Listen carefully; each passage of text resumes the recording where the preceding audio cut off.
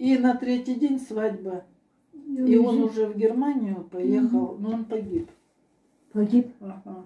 Были э, потом какие там Конфликты? были конфликты. Разборки? Э, Нет, Чехия. не Чехи, больше. э, А. наверное, в те Вход, времена, э, тогда в же танки, танки, танки, самолетов не так много было, Мгм. он, это, он погиб. Я потом уже, когда встречалась э,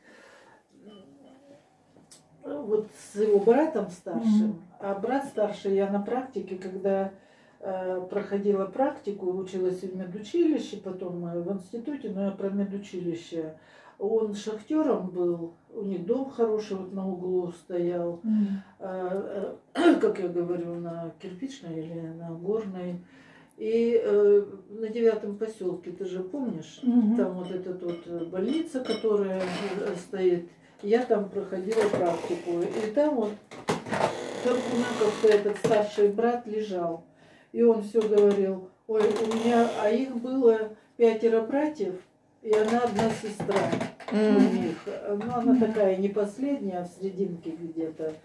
И он все говорил, слушай, у меня два брата неженатых. Галина, давай за это. За, за, за одного из братцев мы Что тебя... подать, скажите? А, То я ну, это- не надо. не это надо?